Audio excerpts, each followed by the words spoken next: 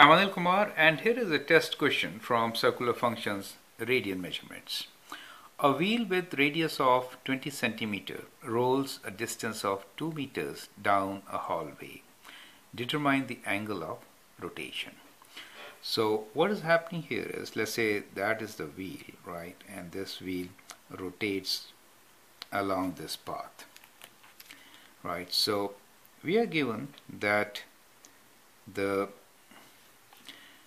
radius is 10 centimeters 20 centimeters. The wheel with the radius of 20 centimeters so the radius is 20 centimeters rolls a distance of 2 meters right?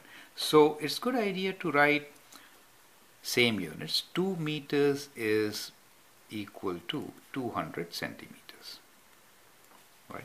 So it rolls that much distance.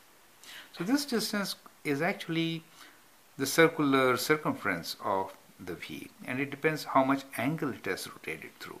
So when we are measuring angle in radians then we can say A the arc arc is equals to r times theta right.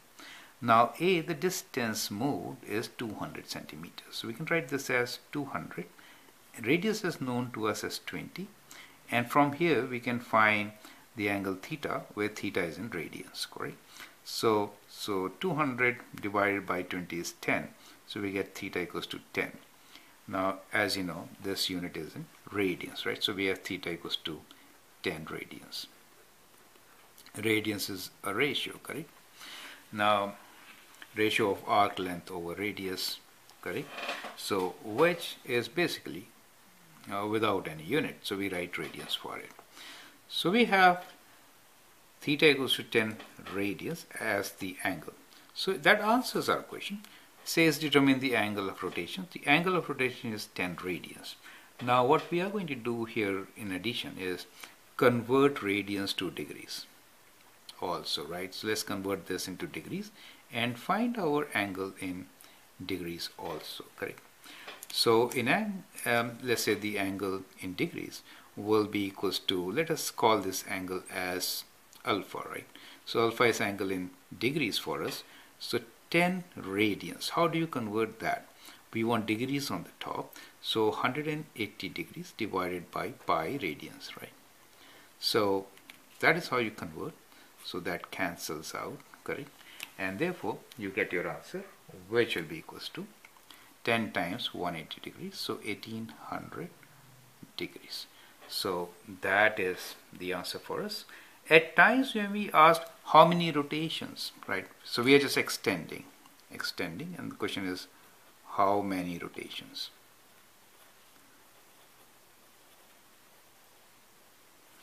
That also you can find since the one rotation is 360 degrees. Let's say a number of rotations is n.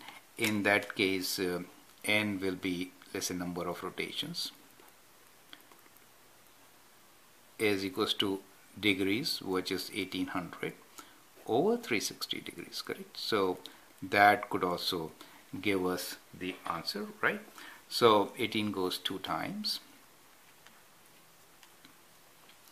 So it is 18 goes two times in 36 so it is 10 it's 18 if you divide by so 10 over 2 or 5 rotations correct? So 5 rotations will be giving you 2 meters of distance. You could also get this by using the angle in radians, correct? Radians will be 2 pi, correct? Now, that is how you can actually solve the question. So I added a couple of things to it.